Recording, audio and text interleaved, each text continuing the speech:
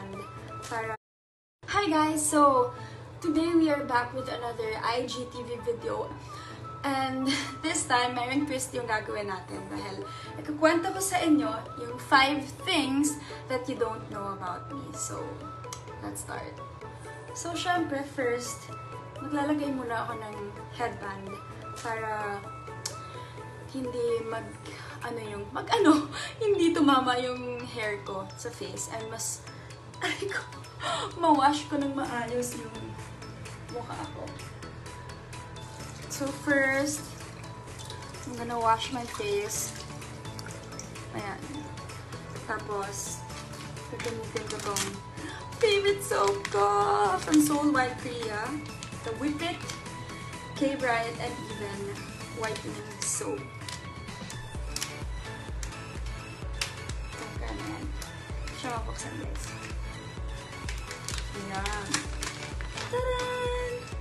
So, magsa-start na ako magkwento. Medyo mahirap pala mag-wash ng face at nagkukwento. So, yung first thing, guys, na hindi nyo alam about me is sobrang mahilig ako sa kanin. As in, kahit anong ulam. Well, normal naman sa isang tao na mahilig sa kanin. Pero sabi kasi nila, ang payat-payat ko daw, minsan parang hindi daw ako kumakain ng kanin. Pero guys, sobrang mali kayo dahil lalo kapag Bicol Express, tsaka yung mga ulam na galing Bicol, as in siguro mga nakakatatlong cups of rice ako. Hala, naalala ko yung Bicol Express. So yun guys, yung first thing that you don't know about me and hindi talaga ako yung tao na ma-diet. As in, sobrang takaw ko. Ang dami kong kinakain palagi. Number two naman.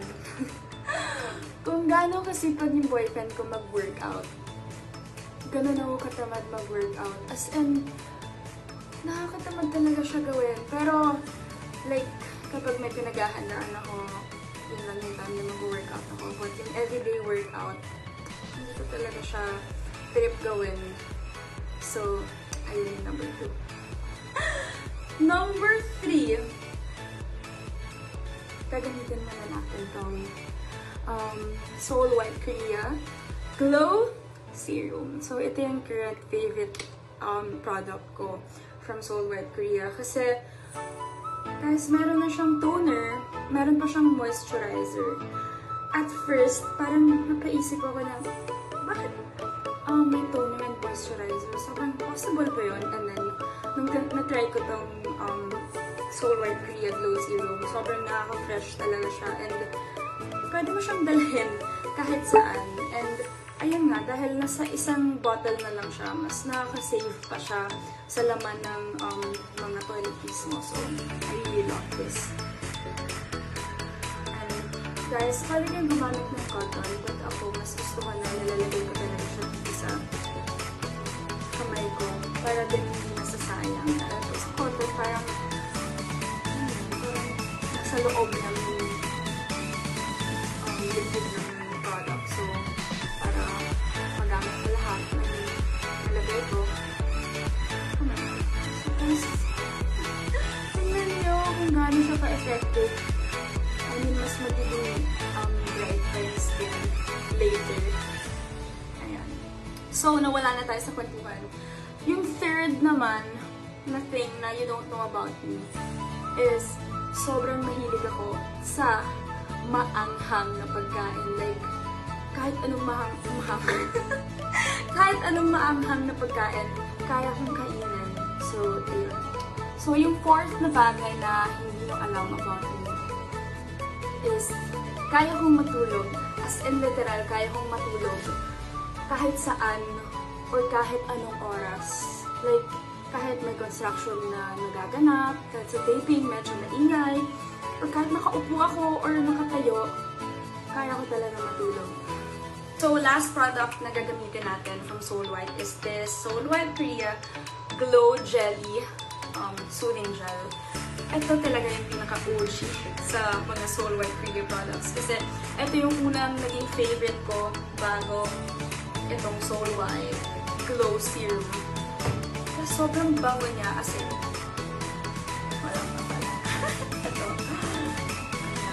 Sobrang bango niya and nilalagay ko to guys sa mukha ko bago ako maglagay ng makeup for work.